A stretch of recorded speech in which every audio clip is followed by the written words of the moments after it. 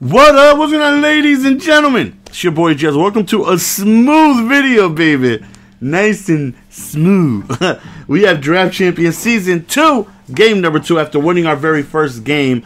Uh, definitely, uh, like I said, I'm enjoying this more than I thought I would. Uh, I've already completed the entire second season. I've already done my draft for the third season, and I'm thinking about playing the entire third season and pl- and just getting that out the way too. But I don't want to be too far ahead because I don't want to miss out on players that came out.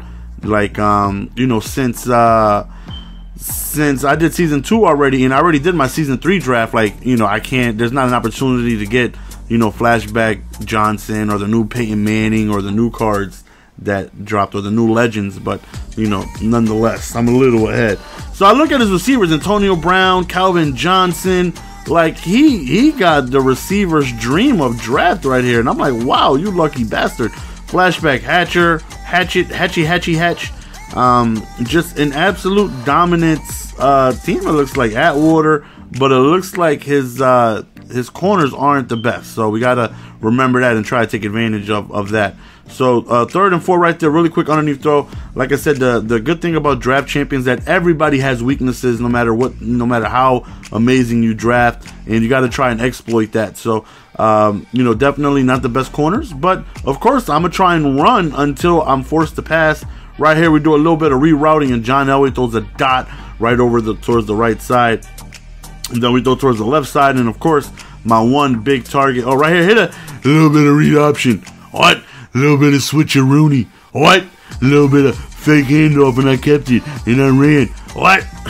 right here, we go to the toss to the left, and we don't get much of anything. Second to go, hand off to the right side, Mulligan left side, spin on him, and we end up scoring, going up seven to zero. So, um, yeah, so uh, you know, even though his cornerbacks are very weak, and I have a monster in Demaryius Thomas, 96 overall final edition. I definitely got to go on ahead and try to, you know, keep it balanced, pass only when necessary, and when I do pass, definitely look for my go-to target because there is not a single person on that field that can guard him. Right there, don't test that user.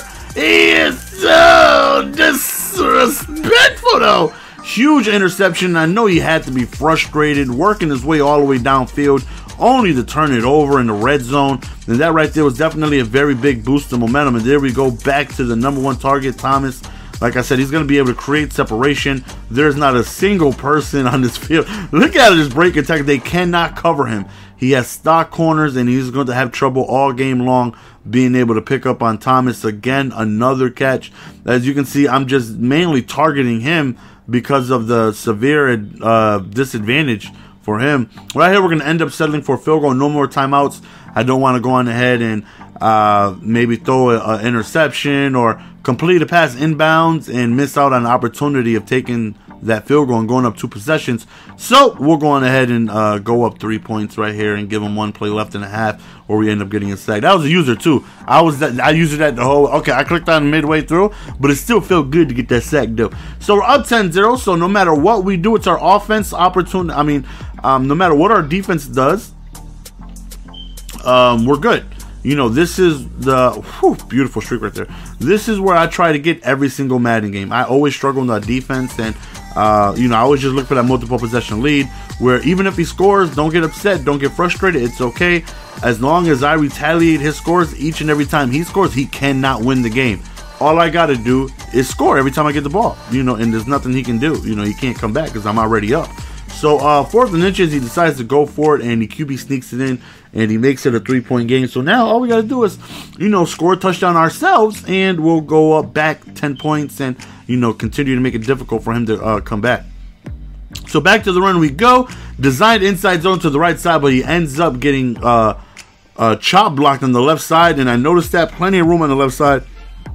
So we cut it back towards the left, and we end up scoring on a 70 eight, no, 72 yard touchdown.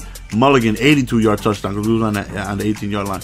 So you know, 82 plus uh, 18, that's 100, baby. So uh, second and three right here is gonna have to need to score quickly. Goes up with the streak and he comes down with it. Ah man, then he goes with the inside streak again, but thankfully he drops it.